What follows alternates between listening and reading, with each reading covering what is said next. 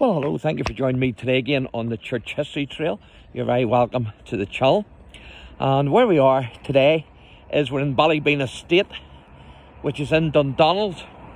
And we're just walking down here to the Long Stone area of the estate. And just you've guessed it, we're going to see a long stone, or in other words, a standing stone. So I've got a question for you. What were these standing stones used for? What was their purpose? Now, some were probably used as dolmens, burial chambers, or portal tombs, in other words, which are a single chamber megalithic tomb. And uh, some would probably have been used also in religious observances or even uh, road markers. But what would a single stone be used for? And this one here is massive, it's even bigger than the last one we videoed. Now, some do have astrological alignment, and some were part of stone circles, of course, such as Stonehenge in England. And they date mostly, the ranges go from 4000 BC to 1500 BC. And of course, the New Grange tomb near Drogheda is one of the best examples of a passage tomb. And of course, the remains of over 1,000 megalithic standing stone tombs can still actually be seen in, still actually be seen on the island of Ireland, and particularly here in the north. And this is here and it's quite incredible.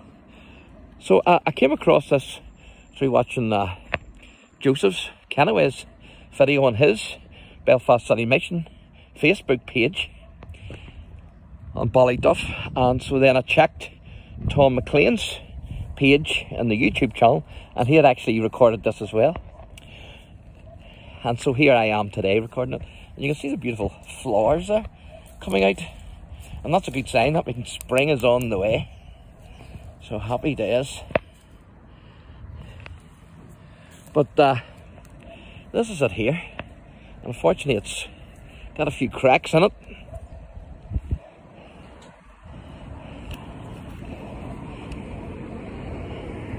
Some stones, of course, have carvings on them, while others, like this one and the one I did, did earlier in Lisburn, um, have none.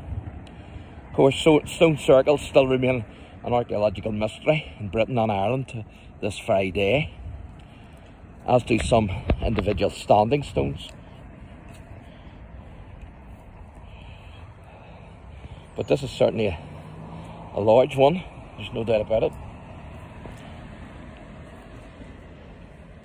Now it's possible that some may have been used for memorial stones, such as the 12 tribes 24 in total that used the uh, the, the 24 stones.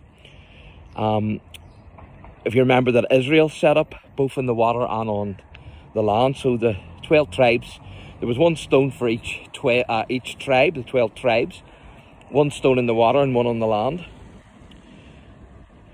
So that was set up to commemorate and remember how God dried up the river Jordan so that they could cross around 1400 BC.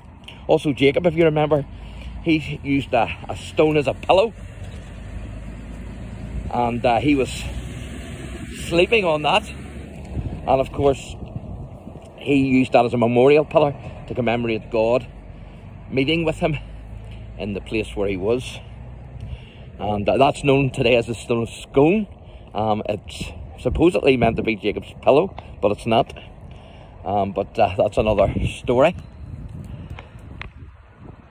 And certainly, Gentile peoples worship stones, there's no doubt about that. They were worshipping them as idols.